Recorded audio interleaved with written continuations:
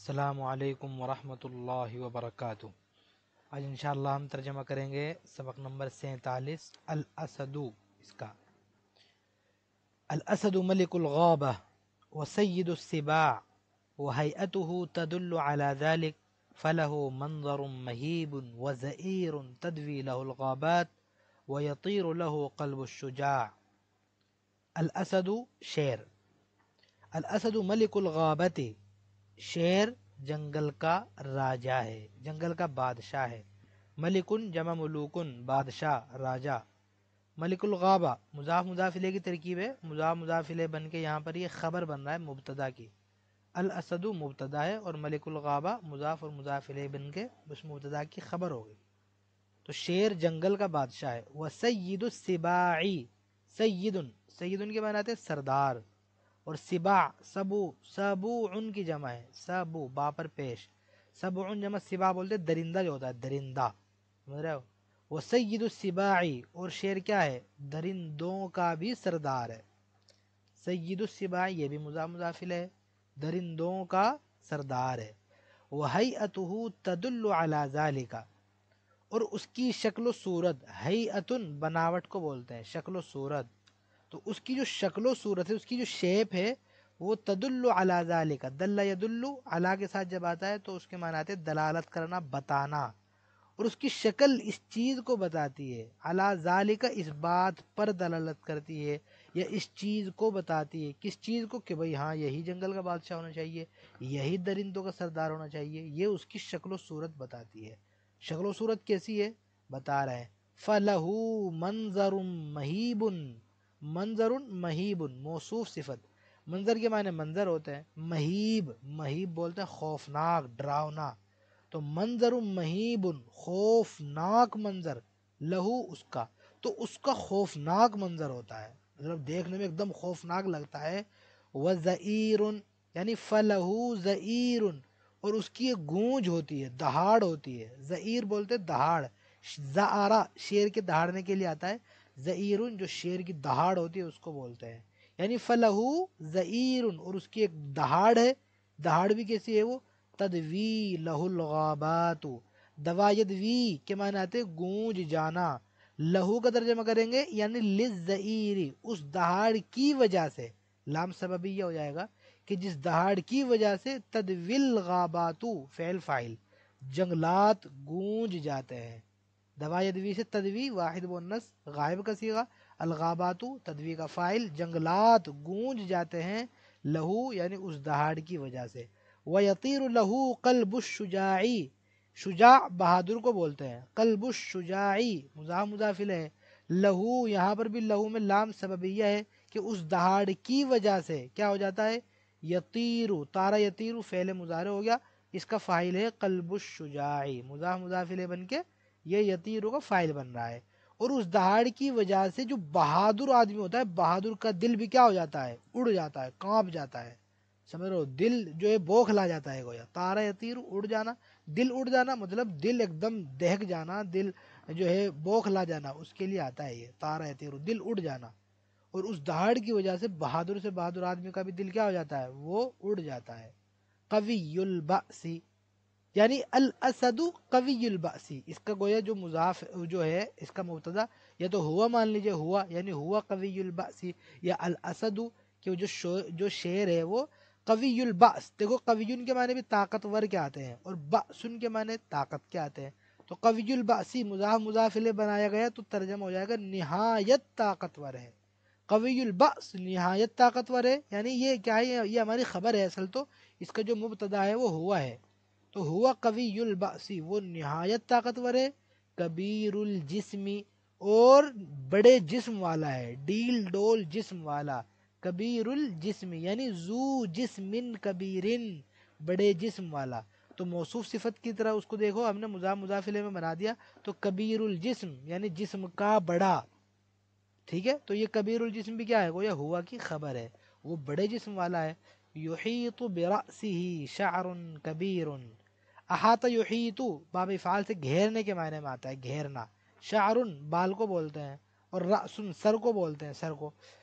तो युहीतु घेरे हुए हैं या घेर लेते हैं, बिरासी ही, उसके सर को, उसके सर को घेर कर रखते हैं।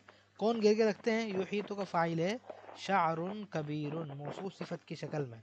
तो मौसू सिफत की शक्ल में ये क्या बनना है? फ़ाइल बनना है का कि घेर लेते हैं, उसके सर को बड़े बाल बड़े बाल घेर के रखते हैं, उसके सर को। और वो बड़े बाल भी कैसे होते हैं? यकादु यह जुब रुक बताई कादा यकादु करीब होना। हजबा यह जुबू के माने आते हैं ढांपना, छुपाना। करीब है कि वो बाल छुपा लें। किसको छुपा ले? रुक बताई रुक बतुन घुटने को बोलते हैं। रुक बतुन से तस्निया बनाया रुक बतानी फिर रुक बताने को मुजाफ बनाया हु जमीर लगा के तो नून गिर जाएगा। रुक बताहु फिर हालत नसम में लाए, क्योंकि हजब या जुबू का मफूल बनेगा। तो अली फटा की क्या लगेगी? या लगेगी। रुक ताहू से रुक तई ही हो जाएगा। तो ये रुक तई ही का तर्जमा करेंगे। उसके दोनों घुटनों को करीब है कि वो बाल ढांप ले। यानी बाल इतने लंबे होते हैं कि करीब है कि वो बाल ढांप लें। इसमें जो फ़ाइल बनेगा वो हुआ ज़मीर बनेगी। और उस हुआ ज़मीर से मुराद जो है ये बाल होंगे, ठीक है? कि करीब है कि वो बड़े बड़े बाल ढांप लें, उसके दोनों घुटनों को, इतने बड़े होते हैं। मतलब बिल्कुल भी ढांप के नहीं रखते, यकादू का लफ्ज लाए कि करीब करीब बिल्कुल ऐसी फीलिंग आती है कि जैसे उसके घुटनों को ढांप कर रखा हुआ हो।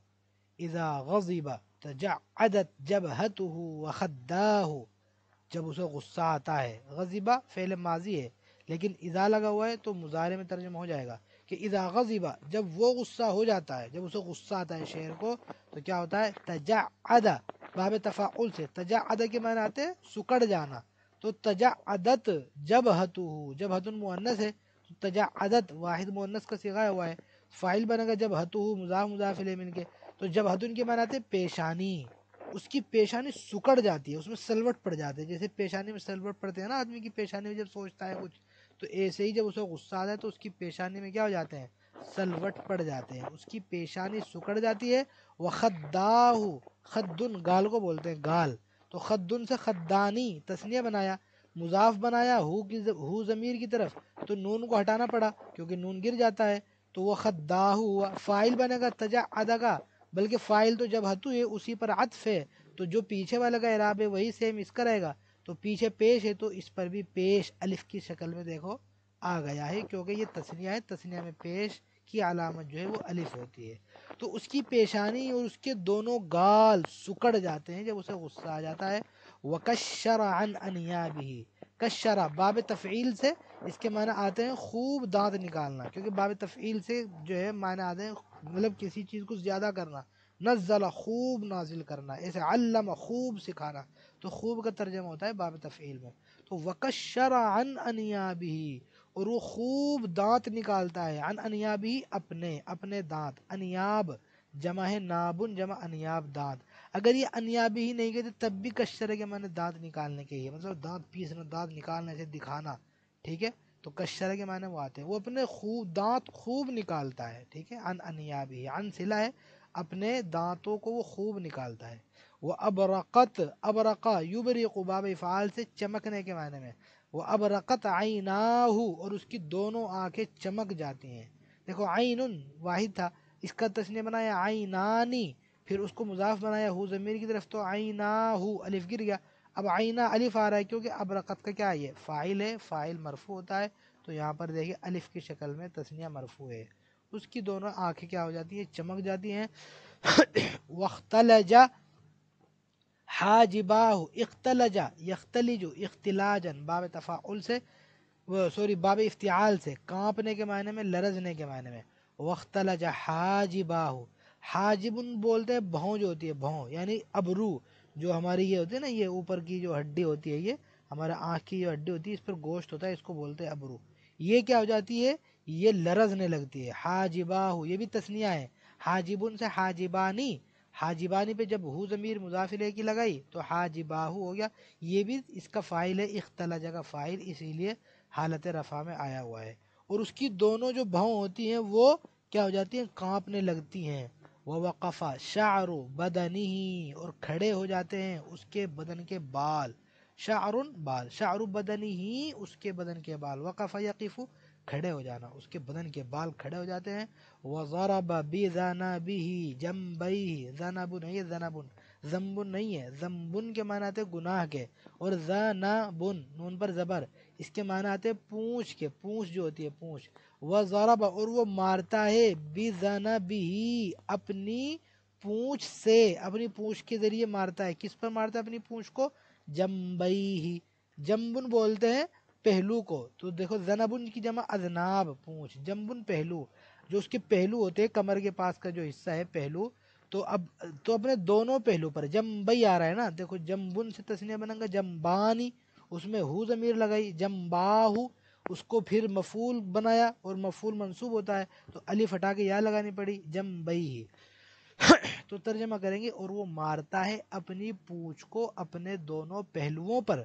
वो अतबका आई नई अतबका बाब फाल से बंद कर लेना और वो बंद कर लेता है आई नई ही अपनी दोनों आँखों को ये भी आइन से आइनानी तस्निया फिर हु जमीर लगी आइना हु फिर ये मफूल बना अतबका का तो मफूल मंसूब होता है फिर यहाँ पर अलिफ को यहाँ से बदला आई नहीं हुआ अपनी दोनों आँखों को वो बंद कर लेता है वमाल इल अर्जी माल या मीलू झुकने के माने में और वो झुकता है, ज़मीन की तरफ़ वो झुकता है। जब उसे गुस्सा आता है, बता रहे तो वो ज़मीन की तरफ़ झुक जाता है। व वसब अला फरीसत ही कसाक़त वसब यसिबु वसूबन, कूदना, छलांग मारने के मायने में। वह वसब, और वो छलांग मारता है, अला फरीसत ही फरीसतुन बोलते हैं शिकार को। तो अला फरीसत ही अपने शिकार पर वो छलांग मारता है, कैसे? कसाक़ती बिजली की तरह। सायकतुन जो आसमानी बिजली होती है ना, उसको बोलते हैं। उसकी जमाती है सवायक बिजली की तरह काफ हरफ जर है, इसीलिए असायकती पे क्या आया हुआ है? जहर आया हुआ है। ठीक है? और वो अपने शिकार पर बिजली की तरह जो है, वो छलांग लगाता है। हती इदा ज़फ़िरा बिहा, यहाँ तक कि जब वो उसमें कामयाब हो जाता है। ज़फ़िरा यज़फ़रु, बाब समिया से बा के साथ आता है। कामयाब होना, सक्सेसफुल होना। यहाँ तक कि जब वो उसमें, हा का मतलब हो गया, यानी फरीसतुन उस शिकार में वो सक्सेस हो जाता है तो क्या तो फिर क्या होता है? अखज़ा फ़ी मुलाबतिहा अखज़ा देखो लेने के मायने में आता है लेकिन कोई काम को करने लगना किसी काम कर, को करने लगने के मायने में भी आता है। तो यहाँ पर अखज़ा फ़ी मुलाबतिहा जब फ़ी के साथ इस्तेमाल करेंगे तो मुलाब किसको बोलते हैं? लाब युलाब मुलाबदन बाब मुफ़ाल से खिलवाड़ करना खेलना। तो फ़ी मुलाबतिहा यानी उस शिकार के खेल में वो लग जाता है। या उस शिकार के साथ वो खिलवाड़ करने लगता है। जब उसको पकड़ लेगा तो पहले उससे खूब खेलेगा वो, एकदम नहीं खाएगा, बल्कि उसके साथ वो खेलेगा। सुम्मा फिर मज़क़हा मज़क़ युमज़क़ तमज़ीक़न, बाब तफ़ील से। ची, जो है, चीर जो है, चीर फाड़ करने के लिए आता है। चीर फाड़ना, चीरना, फाड़ना, इसके लिए आता है। तो उसको क्या करता है वो? चीर, उसको चीर फाड़ कर देता है। मज़क़ा उसको चीर फाड़ कर रख देता है। किससे? बेअनिया भी अपने दांतों के ज़रिए से उसकी, उसको चीर फाड़ देता है। तमजीकन, ये गोया मफूल मुतलक है। तो यहाँ पर तर्जुमा हम ताकीद का करेंगे, उसको खूब अच्छे से चीर फाड़ कर रख देता है। ठीक है? मज़क़ का जब मजदर आ जाए बाद में तो उसका तर्जुमा हो जाए, उसको खूब चीर फाड़ कर रख देता है। बाकी इंशाल्लाह आगे अगली वीडियो में। वालेकुम वरहमतुल्लाहि वबरकातुहू।